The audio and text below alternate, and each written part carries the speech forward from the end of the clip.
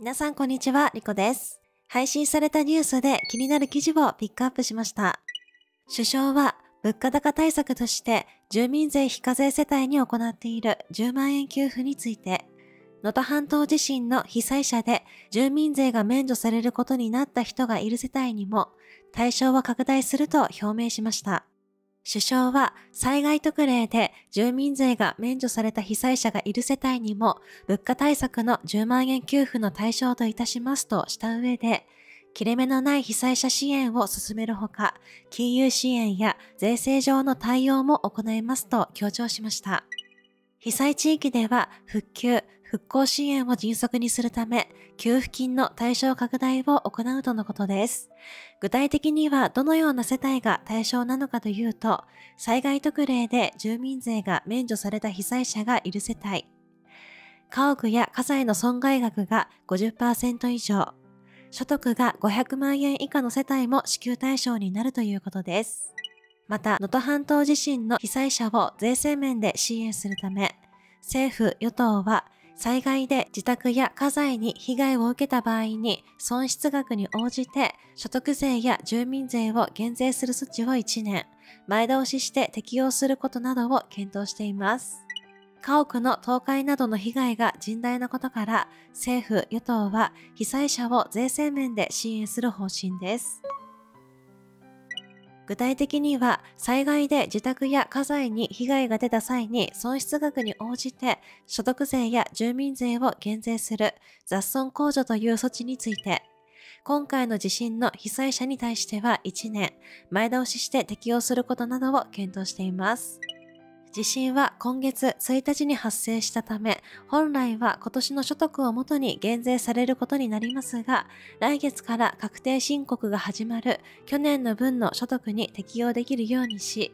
源泉徴収の給与所得者も申告をすれば、去年の納税分から還付を受けられるようにするとのこと。また、被害について雑損控除の適用を申告せず、災害減免法などに基づいて、減税や免税を受ける場合も同様に、去年の所得に適用するとのことで調整しています。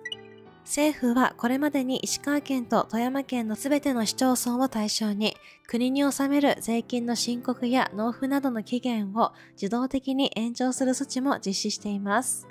その他復興支援として3月から4月に北陸地方への旅行代金を1人1泊2万円を上限に50%補助する北陸応援割を実施することが決まっているほか、